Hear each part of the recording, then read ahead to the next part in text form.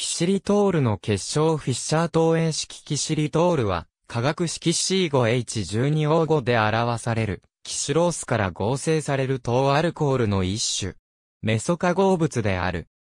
天然の代用甘味料として知られ、最初は、カバの木から発見され、ギリシア語、クサイプシロンラムダニューから命名された。北欧諸国で多用されている。旧厚生省は天然にも存在する添加物に分類している。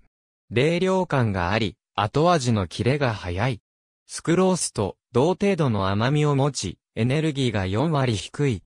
分子量は152.15である。また、加熱による甘みの変化がないため、加工にも適している。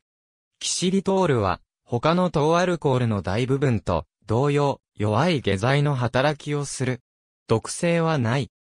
キシリトールの摂取回数の増加に伴う、下痢の発生頻度の増加は見られず、右食予防効果を期待するレベルの、キシリトールガム摂取は、胃腸状態にほとんど影響しないとする実験結果もある。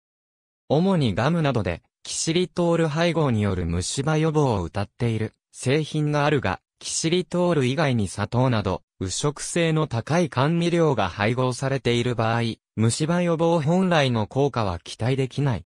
キシリトールの摂取を国を挙げて推進している国、フィンランド歯科医師会のキシリトール、製品推薦条件は以下である。犬に対しては、インスリンの分泌を促進し、長期間かつ多量に与えた場合には肝臓へのグリコーゲンの蓄積が起こるが、単回投与における毒性は極めて低いとされる。獣医師による研究では、犬が摂取した場合、多量のインスリンを放出し肝機能に影響が出るなど、場合によっては生命に危険が及ぶとの報告もある。ただし、肝臓障害の原因は、まだ明らかではない。食事の有無や、咀嚼の有無などに左右されるが、100mg、kg 以上のキシリトール摂取によって、過剰にインスリンが分泌され、血糖値が低下し、嘔吐や沈鬱、衰弱などの臨床症状が現れる。ありがとうございます。